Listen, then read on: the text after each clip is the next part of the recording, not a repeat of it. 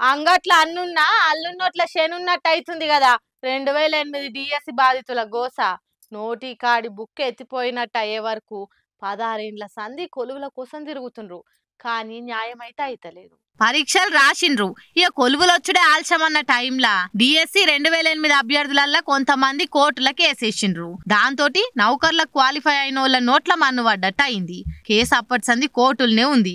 వీళ్ళకేమో వయసు అయిపోతుంది నౌకర్ వస్తుందని గంపెడ ఆశలు పెట్టుకొని ఉన్నారు వచ్చిన సర్కార్ నల్లగా అలిచిర్రు అందరు న్యాయం చేస్తామనే మాటే గాని న్యాయం జరిగిందైతే లేదు. ఇక ఆఖరి ప్రయత్నంగా సీఎం రేవంత్ సార్ను కలిసి గోసెల్ల పోసుకుందామని సార్ ఇంటి కాడికి ఇట్లా బ్యానర్లు పట్టుకొని వచ్చిండ్రు. రెండు వేల ఎనిమిది బాధితులు. సీఎం సారు దయచేసి మా గోస చూడుర్రి ఇది నిరసన కాదు. వినతి పత్రం మాత్రమే. బయటికి వచ్చి మమ్మల్ని కలువుండ్రి. మాకు న్యాయం చేయుండ్రి. రేపు కోర్టులా విచారణ ఉన్నది ఈ లోపట్నే సబ్ కమిటీ రిపోర్టు చూసి మాకు కొలువులు ఇచ్చే తారీఖేందో చెప్పుండ్రి అని సారింటి ముంగట బ్యానర్లు పట్టుకొని దీనంగా నిల్చుండ్రు. మరి రేపు కోర్టు తీర్పు ఏమొస్తుందో దాన్ని బట్టే సర్కార్ ముందడుగేయాలని చూస్తుందట మాట ఇచ్చినట్టు వాళ్ళకి న్యాయం చేసేందుకు సీఎం సార్ ఆలోచన చేస్తుండట మరి చూడాలి ఏమవుతుందో